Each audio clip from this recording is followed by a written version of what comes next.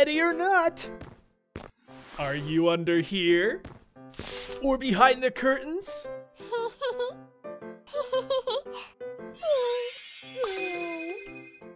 Oh, where could my little girl be? I'm here, Dad.